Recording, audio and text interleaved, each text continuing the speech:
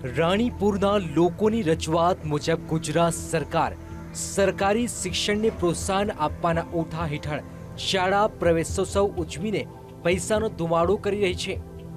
તો એમસી પણ ગુજરાતની સૌથી મોટી મહાનગરપાલિકા હોવાના ઢોલ પીટતી રહે છે. પરંતુ ખુદ શિક્ષિકા રહી ચૂકેલા મુખ્યમંત્રીને અને એમસીને બોધપાઠ લેવા માટે અમદાવાદના લાંબા વોર્ડમાં આવેલી રાણીપુરની સરકારી શાળાનું ઉદાહરણ કાફી છે. વાત એમ છે કે ખુદ રાજ્ય સરકારનો જ શાળા પ્રવેશોત્સવનો કાર્યક્રમ હતો અને શાળામાં પીવાનું પાણી આપવાનો એએમસીના સત્તાધીશોએ ઇનકાર કરી દીધો.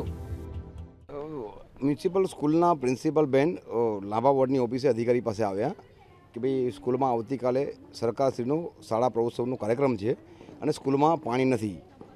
તો અધિકારી પાસે એમણે કહ્યું કે ભાઈ કોઈ પણ સંજોગોમાં તમે અમને પાણીનું ટેન્કર મોકલી આપો. એટલે અધિકારીએ એમને સ્પષ્ટ ઇનકાર કરી દીધો કે ભાઈ, એ તમારો વિષય છે, તમને પાણી નહીં મળી શકે. કંટાળીને પછી અમારે એ સરકારી કાર્યક્રમ હતો, એટલે મેં બેનને કહ્યું કે બેન પાણીની જરૂરત છે, તો પ્રાઇવેટ ટેન્કર મંગાવી લો. પ્રાઇવેટ ટેન્કર માટે અમે ફોન કર્યો. પ્રાઇવેટ ટેન્કરવાળે ચારસો રૂપિયા માગ્યા.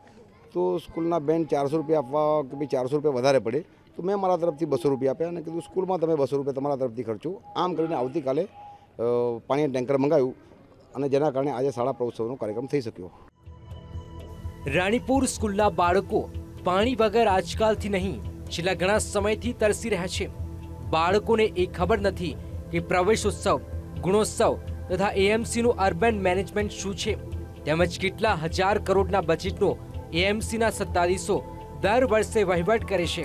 જોકે વાલીઓને એ જરૂર ખબર છે કે પાણી ન હોય તો જનતાના પૈસે ઉજવવામાં આવતા ઉત્સવો અને એએમસીની મોટી છાપ આ બધું જ નકામું છે. છ મહિનાથી પાણી સ્કૂલમાં આવતું નથી. એમાં બાળકો બિચારા પાણી ક્યાંથી પી શકે? કે આજુબાજુમાં વિસ્તારવાળા પાણી અમે બાળકોને ક્યાંથી આપી શકે પાણી નળે ના આવતું હોય તો બાળકોને પાણી ક્યાંથી આપે? અમારે અડધા ગામમાં પાણી આવતું જ નથી. છેલ્લા છ મહિનાથી અમે કોર્પોરેટર પાસે જઈએ છીએ તો અમારું કંઈ સાંભળતા નથી. અમને ધક્કા મારીને કાઢી મૂકે છે કે તમારે જે થાય તમે આગળ કાયદેસર કરો. અમે છ મહિનાથી જ્યાં ત્યાંથી પાણી ભરી લઈએ છીએ. આ એ જ વિસ્તાર છે જ્યાં પાણીની અછતનો ખૂબ મોટો પ્રશ્ન છે અને છેલ્લા બે દિવસથી એએમસીનું વોટર મેનેજમેન્ટ કેટલું વામનું છે તેને લઈને વીટીવી સવાલ પર સવાલ ઉઠાવી રહ્યું છે.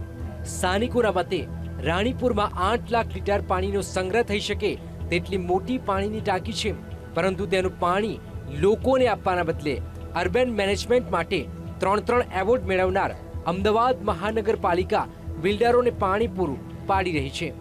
બેન, અહીંયા પાણી માટે સરકારશ્રી તરફથી આઠ લાખ ગેલનની ટાંકી બનાવેલી છે. એ એક્ઝેક્ટ આ રાણીપુર ગામથી બાજુમાં જ છે.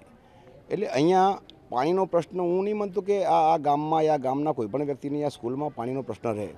પરંતુ આ વિસ્તારના અધિકારીઓની ઈચ્છા શક્તિ આ લોકોને પાણી પહોંચાડવાની નથી. અને આ અધિકારીઓ જે અનલીગલ બાંધકામો ચાલે છે, આ લોકોને રહીશોને મળવાનું પાણી એ અનલીગલ બાંધકામોમાં જ જતું રહે છે.